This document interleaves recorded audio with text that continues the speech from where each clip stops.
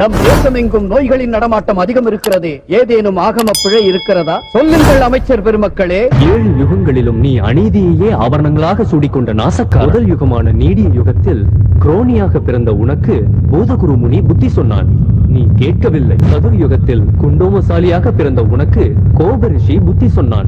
நீ கேட்கவில்லை. நெடிய யுகத்தில் தில்லை மல்லாளன் மல்லோசி வாகனனாக பிறந்த உனக்கு ரோம ரிஷி புத்தி சொன்னார் நீ கேட்கவில்லை. கிரேதா யுகத்தில் இரணியனாக பிறந்த உனக்கு மகன் பிரகலாதனே புத்தி சொன்னான். நீ கேட்கவில்லை. கிரேதா யுகத்தில் ராவணனாக பிறந்த உனக்கு புத்தி சொன்னான். நீ கேட்கவில்லை. வாவர யுகத்தில் துரியோதனனாக பிறந்த உனக்கு பீஷ்மரே புத்தி சொன்னார். நீ கேட்கவில்லை. கலியுகத்தில் மன்னனாக பிறந்த உனக்கு நானே புத்தி சொன்னேன். நீ கேட்கவில்லை. உன் காலை உடைச்சு உன் சிறவு முறிக்க வருதான் வருவான். பார்.